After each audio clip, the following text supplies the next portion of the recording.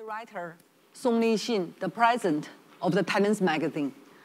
Okay, and uh, I believe everybody uh, will remember the World Cup Russia uh, in July. Uh, I'm the lawyer fine of the France, so I asked the, the beautiful lady. His, his answer is the only one is Russia. I'm so happy to see uh, the France won the championship. And uh, everybody knows the, the, the sports, this, this uh, World, uh, World Cup Russia cost uh, more than uh, 14, 14 millions, 14, uh, 14 billion dollars. it's the most uh, expensive in history. And uh, uh, revenue is uh, more than $6 billion. Of course, one third is from, was from the China, from the Chinese sponsor. So uh, everybody, every, uh, a lot of country want to have the mega events. But uh, after the second years, the economic growth will be slowed down. So today, we will discuss how to exercise the rich, in return the international sports mega events. So I'm so glad, uh, I'm so too glad to uh, introduce our uh, three, three guests. And uh, the minister of, uh, the, the, the, three, the three guests from Japan, Russia, and China. This country, both of them, yeah, both of them uh, have uh, Olympic or World Cup. Uh, so uh, I, I, am glad to introduce Hayama, Hayashi. Hayashi.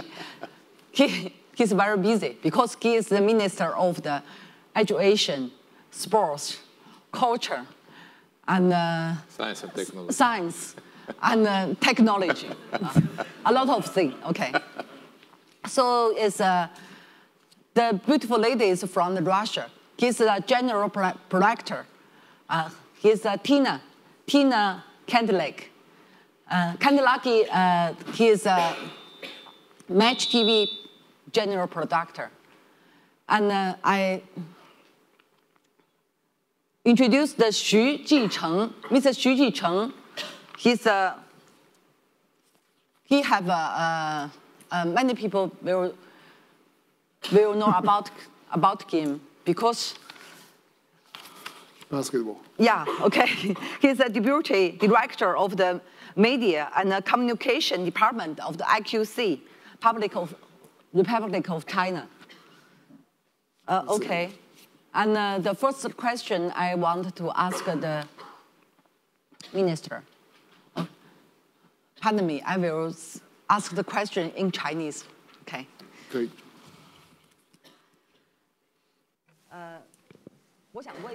So my question is, after 1964, after the Tokyo Olympic Games, Japan will soon be the host of the next Olympic Games. Just like I said, after the mega events.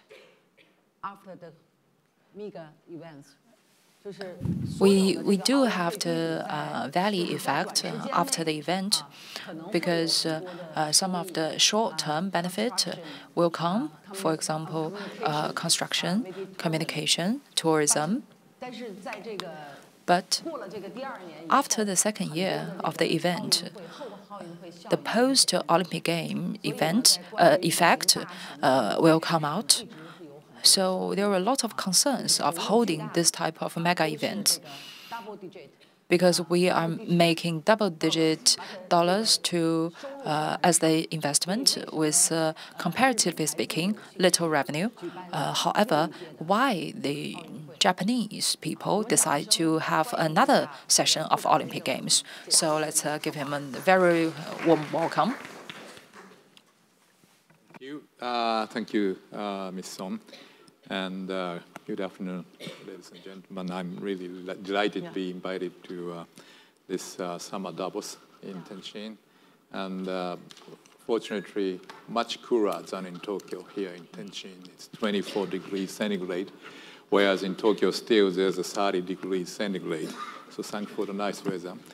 And 1964, uh, Japan's Japanese economy was still developing, like uh, not a double digit, but maybe like China now, like six, five, seven percent uh, growth.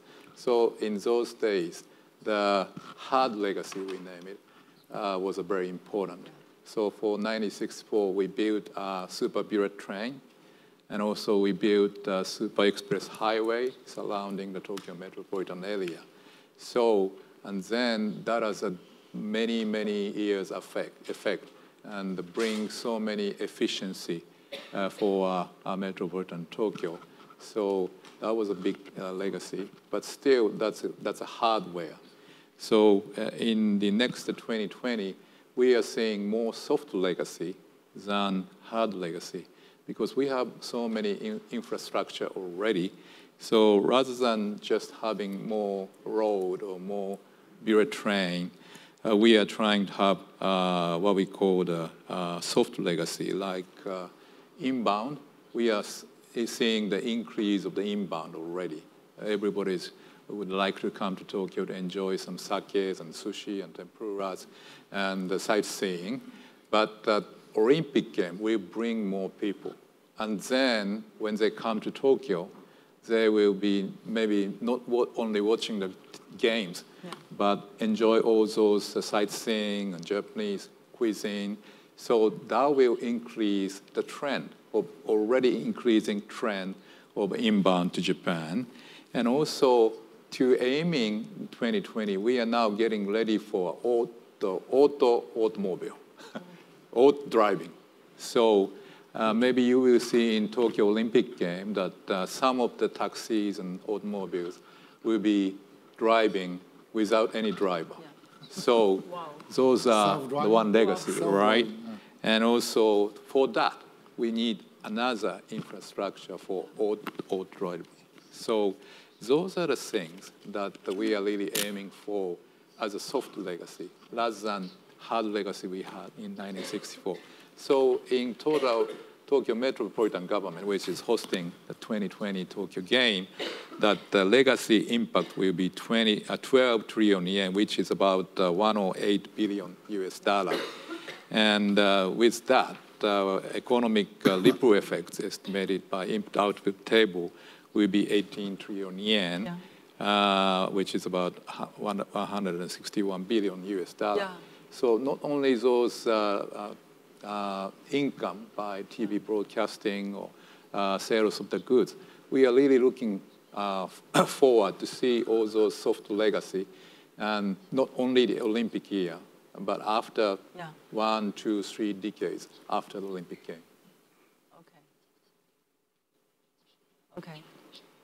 Am I speaking too, yeah. too quick? No? Oh, okay. Yeah, okay. Yes. Yeah. okay, yeah. Yeah, okay. Well, however, however, as you've just mentioned, for the previous Olympic Games, uh, you have reached the double-digit GDP increase. Uh, however, uh, I believe that currently you are still having a great economic momentum. And uh, I know that after the Olympic Games, your uh, property price has been dropped. I don't know if you feel the same. Yeah, uh, we see the uh, bubble days and then bubble burst, so which is uh, maybe one, two decades after the Olympic game. Uh, so we will be uh, seeing the uh, forecasting not so much downward trend of the asset because in those bubble days and bubble burst days, Tokyo especially yeah. experienced the downward uh, of the price. So stock price was almost uh, one third or one fourth at the top of the bubble and then the, uh, at the dip. And then uh, after Abenomics for five years, we yeah. came from the bottom to uh, uh, the situation now. and also that applies to the asset price like land price. So we don't see many room for going down of the asset price even after the Olympic game because uh, towards the Olympic game we already have two years only. But there's not such a big boom of the land asset price towards the Olympic game. So that means the land price, asset price is not in a bubble situation for the Olympic game. So that's why we don't see uh, any big reason for uh, bubble bust after the 2020. Okay. Okay. 所以呃，因为呃。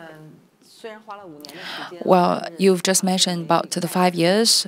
Um, it's a fair price to pay uh, because after the Olympic Games, uh, the Japanese people have become more and more uh, focused on their uh, practical increase of the economy. So next question would be uh, for Tina. Number with Erson, OK，他分享一些有趣的数字。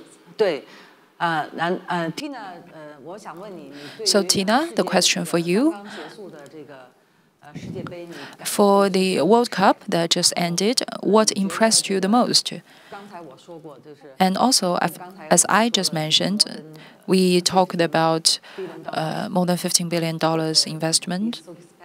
That is very expensive. So how do you comment on that? How do you comment on this most expensive things? First of all, thank you very much for having me here. Um, I want to say that Tianjin is a beautiful town, really. And if we talk about weather, the weather is same in Moscow now. That's unbelievable because in Moscow now we have 24, 25 degrees. Oh. You can't believe in this because everybody's uh, thinking that Moscow is the cold town. No, same weather here, same weather in Moscow. About atmosphere and about my impressions. Of course, as a Russian, I never be so proud of my country because atmosphere, attitude, people, smell, singing, everything is still in my heart. Okay. And I think uh, that I would remember this experience all my life. But you mentioned a very important thing, like a journalist, numbers because atmosphere is very good, but the always question is, what, if this atmosphere costs so much, what we can take from this atmosphere, which kind of profit we can make with this atmosphere. And because I was knowing that this question should be appear on this stage, I prepared some interesting numbers. I think that you never heard about these numbers, but it's the first results that we have in our country. For example, I took like example Moscow, like a capital city. Let's talk about them. For example, for many uh, ordinary Russians, uh, this was uh, something completely new. Many of them uh, never had met foreigners. Now, if we talk about foreigners, nearly 4.5 million people suddenly arrived only in the capital city. It's only Moscow. They were curious to go out onto the streets and uh, meet with these people. That's a good thing because now we have this experience how to meet a large number of tourists. Interesting thing, another one that I want to uh, underline. Look at another things. Uh, for example, first and foremost, the infrastructure. Just to highlight a few uh, statistics. 20% of the entire land transport, tra transportation network was updated. Mm. It's an uh, amazing thing. You know, in nowadays, everybody who are appear somewhere try to find the Wi-Fi, yeah? I want to tell you something. In Moscow, if you should be in the metro, it's the 24-7 Wi-Fi. You can easily connect, and in the metro, not only in the station, since you are sitting in the metro and you're using the metro, you can have a Wi-Fi. It's unbelievable thing. I know that it's only in our capital city, and in some towns that we started to do this project. Another thing, uh, two major hospitals were renovated. Capacity uh, at airports was increased by 50%. When I was coming here, you know, I'm 20 years living in Moscow. I can stand the crowd. It was incredible. Uh, international crowd in the Moscow airport. And I was standing 30 minutes near the exit, not in the airport, near the exit. That's a result too. 47,000 additional jobs were created. That's important, mainly in construction and services. Two training grounds were built and six more were reconstructed. And uh, what else interesting about, for example, about uh, tourist numbers and about particularly Chinese? I think that you would be interesting. Uh, one thing, first of all, let me underline. Who came to Moscow grew the number of the tourists for 56% in comparing with 2017. It's a huge number, 56%. Uh, uh, and uh, uh, I told you that 4.5 million tourists visited the capital city, and which were from the beautiful, big part from the beautiful country China. About China, interesting numbers. For example, it was something of uh, 500,000 people who came from China to Russia. And uh, let's talk about shopping, about numbers too, because I was amazed when I get these numbers. Main shopping streets, Chinese people spent over, uh, please careful, spent over one, around $1 million only on one street. Not in the Moscow, only on one shopping street. Yes, uh, uh, the, uh, the next biggest spenders. Yes. Yeah. China Avenue. Let's talk about next biggest spenders after Chinese. Uh, they are Mexicans and Americans. Oh. Chinese are the best one. That's why welcome to the Moscow, welcome to the Russia. Another thing, uh, big brands like Gucci and Louis Vuitton, it was interesting because they reported that uh, their sales, uh, they increased in two, three times. Never had been before. Another interesting things, for example, GRP. You talk about GRP and you mentioned the GRP. What about GRP? GRP of Moscow alone increased by 2%, while tourism led to increased revenues of over 30%. Moreover, around $3 billion were earned by small and medium-sized businesses because all these businesses, when we start to prepare for World Cup, start to appear. That's why they earn this money. And over than $220 million in additional income for the city of Moscow. And as you know, it was 11 cities, not only Moscow. I take only one example to show you what is this result. Because everybody are scared, it's called the white elephant. I know that white elephant after World Cup and big mega sport event that a country spends a lot of money and then can't make a profit, big profit, to can compare with these, uh, uh, I mean, uh, prices that it spends on these mega events.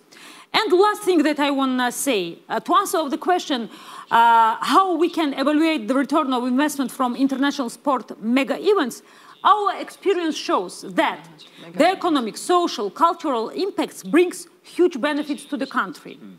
In our case, it gives a much needed boost to our economy. It's the first thing. Second thing, it helps to change people's opinions about Russia and perceptions about Russia. Because you people, tell me please, who have been in the Moscow or in the Russia since the World Cup? Raise your hands. Who have been in Moscow? Only you. I think that two persons are from Russia. Yeah. Uh, are you uh, two persons? Yeah. and one, please, two, three, four, you have to come to Russia. Now we are unbelievably convenient country orientated on tourism very important too, because it's never had been, and people thought that there is still snow in the Moscow. As I say, same weather in Tianjin and in Moscow now. You have to come right now, right here, after Davos. and in my opinion, in motivated and inspired young people, young people is our future. They should build new countries. Yeah. They should build, yeah. fu build future for our country. And it inspires them to do great things in the world. And sport, it's always what it's important to underline, why it's important for big nations and big countries. It unites people, no matter which kind of religion you support, which kind of nationality you are, how many, how old are you, no matters. Because sport unites all world. That's why we need these mega events. Thank you for your attention. Thank you, Tina. Okay. Thank you, Tina. I just want to add something. The passion is still there. Uh, Uh, that's the sports people. Yeah. and also that's the change, or the sports can uh, influence the okay. beautiful ladies like this, okay. like Tina. Okay. So uh, I think all the the statistics, all, yeah. all the uh, all the numbers, just uh, presented by Professor by Tina, just to show that one of the key point in our topic today is uh, World Cup or Olympic game whatever the big events or major events, is not a burden of economic. It's a part of the economic. So there's the book written by, uh, by a German is the author is called Olympic Economy. And the forward, in the forward, the, uh, the life honorable president of the IOC, International Olympic Committee, Jacques Rogge, Jacques Rogge, Jacques Rogge, he wrote that the Olympic game or major sports events played a catalyst to the development and the redevelopment of the city.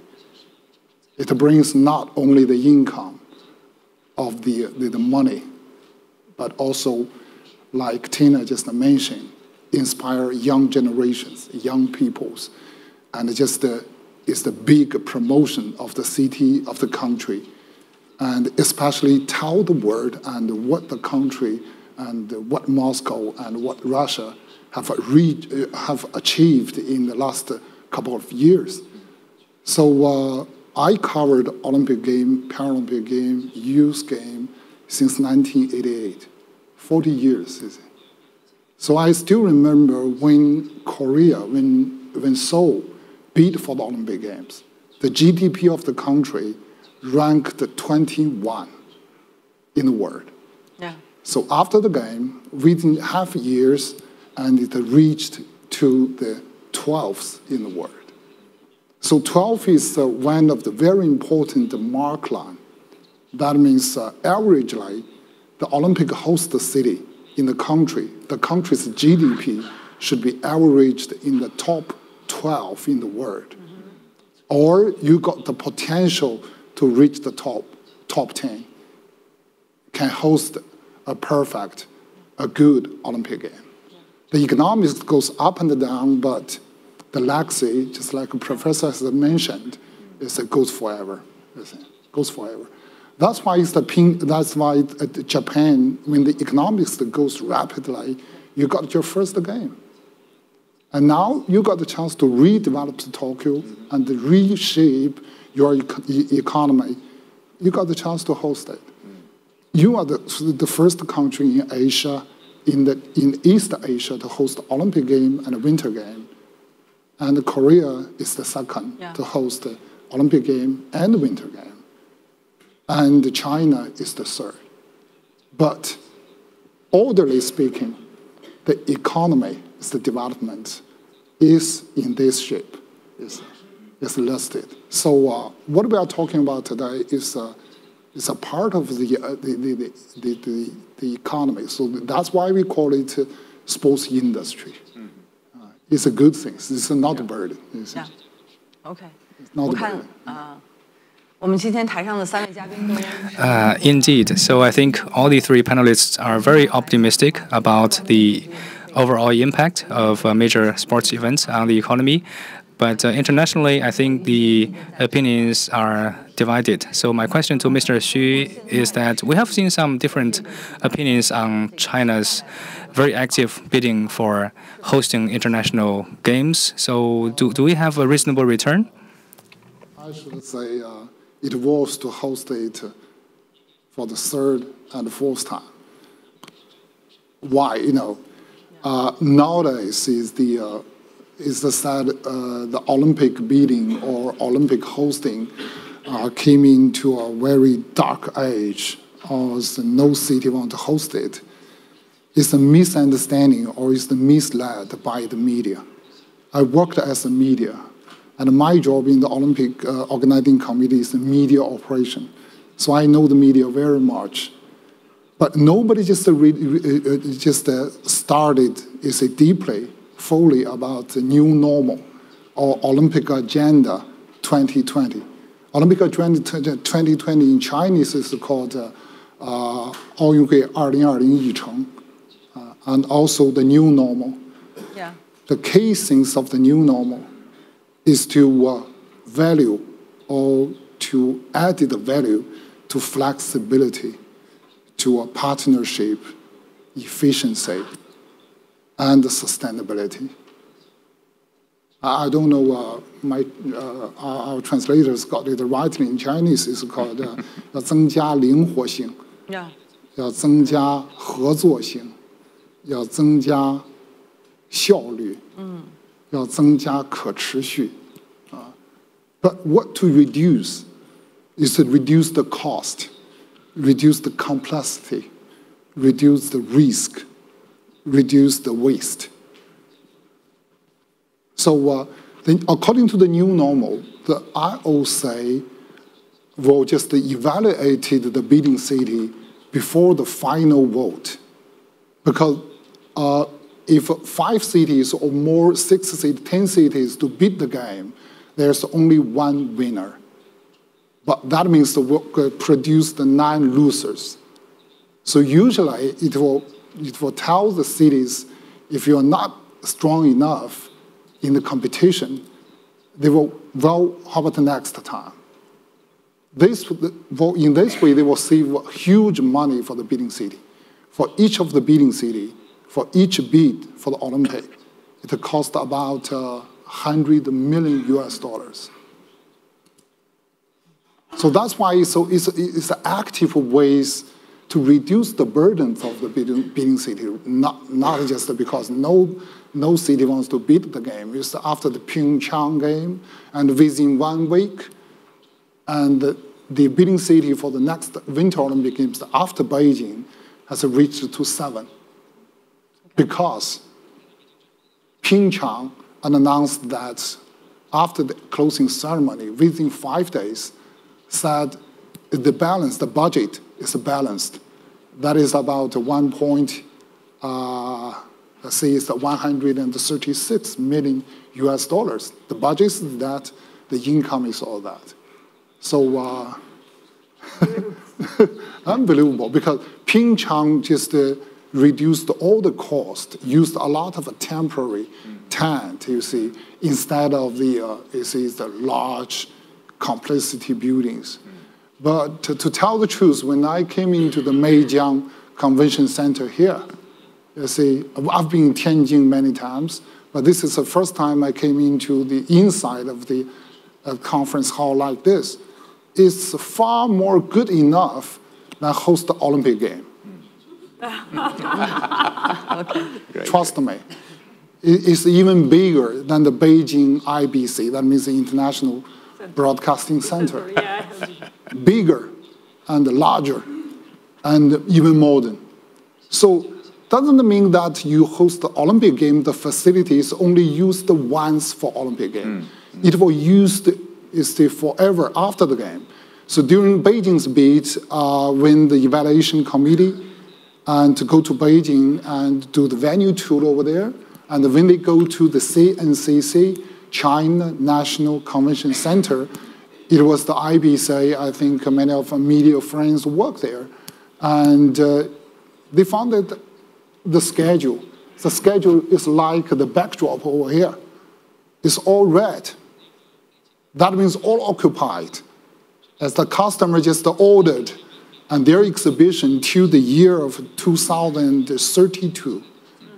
So they just gave a new name to such a huge huge building. And they call it a white, uh, red elephant. You know, in the Olympic history, I think Professor knows, there's the special term called white elephant. But the turnout in Beijing is the, is, is the red elephant. That means in fully used. Tell another date to, to share with our friends is three years after the Olympic game, and the Olympic green, you know the Olympic green with the bird nest, the water cube, all the things over there? The yearly income is higher than China's film yearly income. Let me uh, echo with Mr. Xu that the uh, main Olympic stadium in Tokyo, built in 1964 and used, uh, have been used almost half a century. Half a century. Up until two years ago, when we renewed that for the 2020. Oh. It's now being built. But I, as a child, went there and used that many times. So it was used 50 years. Yeah. So, and also Pyeongchang things is a very phenomenal, cost-breaking Olympic game, like uh, Mr. Xu says. So that's why, uh, yeah. Uh, so, sorry, that's why uh, mm. Mr. Bach okay. mm -hmm. said Pyeongchang set up the new horizon. Yes for the Olympic And horizon should be kept because uh, we had just had a three ministers meeting last week in Tokyo with China, and Korea and Japan for sports minister. So, and the Pyeongchang Olympic Games, all the records and know-how uh, get into one book, uh, which would be like a Olympic fire. Yeah. That like was yeah, like a flag. That was be being from Pyeongchang to Tokyo to Beijing. Yeah, to Beijing. So that's we decided to share in three so Beijing got a great pressure. Right. Yeah. so this, yeah. this, uh, in the summer, I have a big conversation, an interview with Mr. Gianni Infantino. And uh, there are another thing uh, that, like a person who were in charge with media, you know, the prices on rights they are increasing okay. every tournament to tournament. Why? Because it's interesting. Yeah, uh, if it's uh, so many things to scare, why the prices are increasing? Because uh, the audience are increased unbelievably. The ceremony of opening and uh, for closing attended by 1 billion people for each. Every game since the World Cup was watched by the 200 million people in the world. That's why the number of sponsors are unbelievable. That's why for the market, because for the TV, for the media, for everybody of us, it's important to have some stage where we can make a presentation for the big sponsors. It's the biggest chance. And I completely agree with you. For some countries, it's always uh, the difficult thing because it's the black elephant, let's call it, because nobody knows what it should bring to country. But for the other countries who can increase all their markers, it's always possibility. Depends on country, depends on people, and depends on people who are in charge. Yes, okay. so far the Olympic game and I mean the Summer Olympic game mainly, because there are four Olympic games: mm. summer game, winter game, mm. summer youth game, and the winter youth game. Mm. Summer game and the World Cup are the two unique, unmatched events in the world. Every penny you put it inside, and you invest inside of it, paid off three or four times. It's as, a big as, showcase. As you know, one number that I want to mention, I think that you know about this, that Qatar, uh, who should be um, next uh, uh, country where the World Cup uh, should be happens, uh, they uh, have a budget 200 billion dollars. I was there, you know, I was there. It's a very interesting experience. They built a town, really a town for the World Cup. they completely changed all infrastructure starting for the water infrastructure, because it's interesting, they can move by the water, uh, finishing with the metro. They did the things that they never had did before. And I asked them, it's unbelievable budget, can't compare with anybody in the world. Okay. And they told me, you know what? Because they start to compete for tourists. And you are quite right uh, that if it starts for the long-term things, of course, you can attend for the result like a kid, and then in your middle ages, you should be still using this infrastructure. And amortization of this infrastructure, that's a very important financial thing that can be counted. In Qatar, they're doing it very wisely, and that should be next very interesting okay. experience. Okay. Well, I think they are very united. Uh, as for convincing me, uh, like I'm questioning all of them. Well, I think uh, still I'm the. Uh, I can recall that we are uh, applying for the Olympic Games uh, Back then, we have the slogan of the one world, one dream, and China then become more international. But still, I believe there are a lot of uh, people are having questions. So now I would like to open the floor to receive questions. Uh, if you would like to ask some more questions, uh, taking my set for more questionings, because we know uh, Tina has been always very exciting. She is still in the hot atmosphere as in July.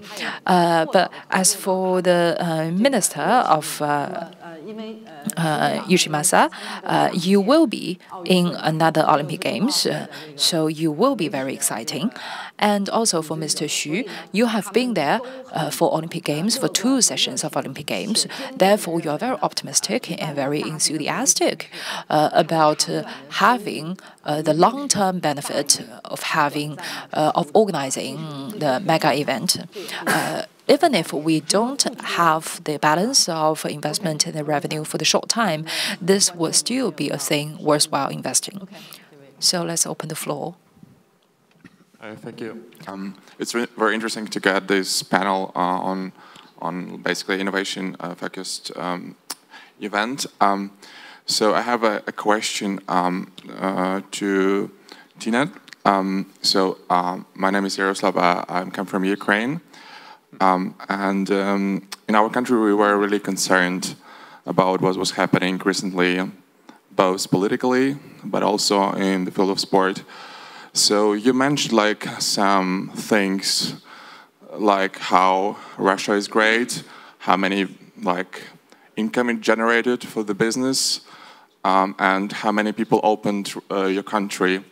Uh, but my, my question is, how ethical is that to your point, like having the country involved in war conflict uh, and hosting that major event? Like, do you think, is it like ethical stuff? And do you think like promoting um, politics under sport is fine? Thanks. Thank you, Yaroslav, first of all, for your question. That's a very good question because I heard this question for many Ukrainian journalists a lot of time. And you know what is the big plus of the World Cup? And I think that you have to learn it. Why uh, Olympic Games are appear, you know, historically. As you know, and all Ukrainian viewers know me, I was the host of the Brainiest. And it was a very good question that I always gave to kids. How Olympic Games are based? You know why they're based? That all wars, all conversation about wars, all conversation about political degrees are stopped in this moment because all big sport events can only unite people. That's why I was always amazed when since this fantastic tournament, these questions are appeared, because it's the time when people should unite in many different ways. And I think that you have to do it too. That's why I never think about the political disagreement since the World Cup. I only think about political opportunities that World Cup gives Russia and all world. Thank you. Yes, uh, if may I uh, say something about this? And uh, sports is always in the shadow of, the, of politics because big events, major events, is such a huge and powerful platform. So some of the times and the people like to talk about the politics with sports. But what we should do is separate sports and separate sports with the uh, politics. It's two different things. Because just like the slogans in Beijing Games, one word, one dream, you see. But historically, each of the Olympic Games got some politic issues in it. But that never stopped the steps of the uh, major events like Olympic Game or World Cup, just like Tina has just mentioned, because the same because the dream is a peace, just like in the youth, uh, just like in the Pyeongchang Games. You remember North Korea and South Korea, they marched into the stadium with the same flag. You see, with the Peninsula flag, and now Olympic game, one of the big fruit for the Pyeongchang Games is uh, not how much money they earn, not how much money knows that Pyeongchang is one of the, uh, the tourists for the snow sports. Uh, is about the two sides of Korea. Till this morning, you see, the two presidents meet together. Why we look it at, uh, why don't we look it at activity as a positive ways?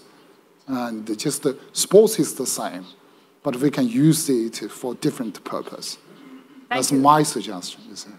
It was a very okay. good example because I'm so sorry, I can a little bit continue. It was a big fight. If the guys who like boxing know their names, biggest fighter, Kovalev and Usyk. Usyk was Ukrainian citizen. I was attend to this uh, boxing show. And Usyk win in the center of the Russia, in the capital of Moscow. He win. And Ukrainian anthem was played in the place where this tournament happened. All Russian citizens stand up and support this winner. Because what is important in sport and what possibilities sport give us, it's always a little bit up of politics. It's always give us chance.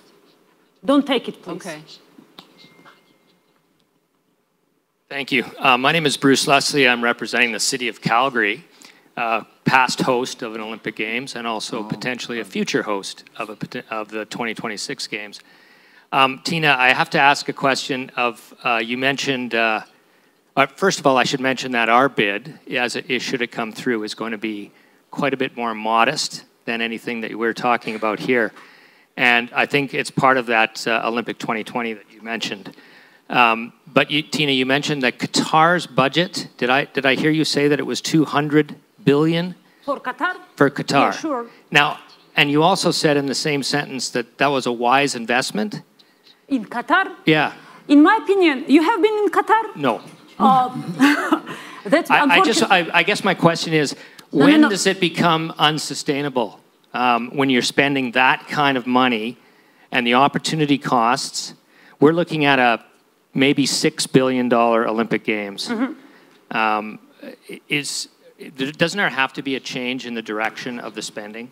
Uh, uh, that's, you know, uh, because I'm a journalist, first of all, it's always a little trick when you ask the person, you know, have you been there? But that's an important uh, K, because if you have been there, you have much more opinion based on facts, not on emotions.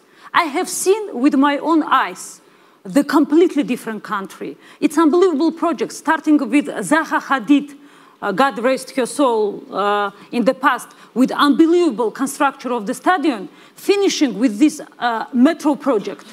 And they have a very good formula for how to return their money. If you want to comment this Qatar factor, we have to be deeply in the content, based on facts.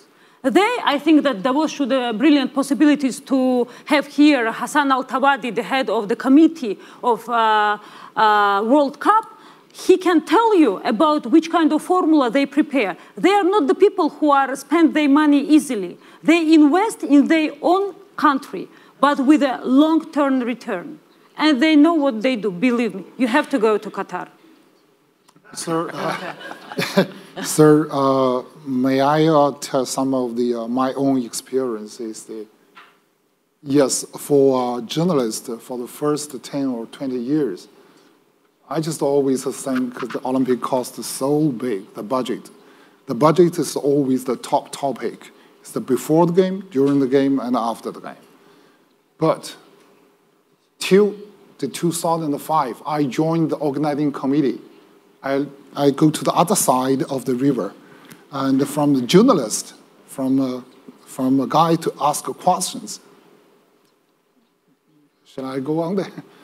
And from the other side, the, the cost for Olympic Games is very easy to figure out. One day, 100 million US dollars. One day, 100 US million dollars. That is the operation phase for that. Hmm. It's 70 days. It's very easy to figure out. That is the budget Olympic Games cost. All the others is the relative or, or non-relative. All the others is the city spent to build the city or redevelop the city. Olympic use it for Beijing, the airport, T3, Terminal 3, the highway, and all the, all the new buildings and venues. And after the Olympic Games, the, the city will still continue to use it. That's, that part is called sustainability. So it's very clear, the two parts of the budget. Okay. 好。all right, we've just got the reminder of the last three minutes for this session, so maybe we can invite uh, this lady to ask a question, and hopefully the last question will be a very short question. We're talking about the, the uh, financial benefit or return on investment, uh, but we haven't really discussed the uh, social impact, because Olympic Games or similar games, World Cup, promote grassroots uh, sports.